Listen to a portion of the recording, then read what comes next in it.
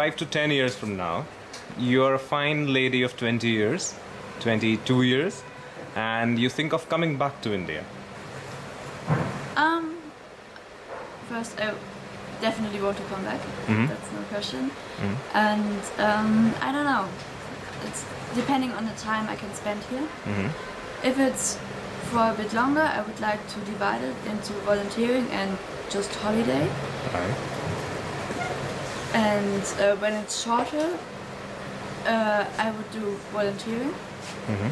And um, then I would definitely come back to Jaipur because it really feels like home for me now here. Right. And I'm sure it will change in this time, but I want to see it then. But I also want to go to the Himalaya and um, to the south of India.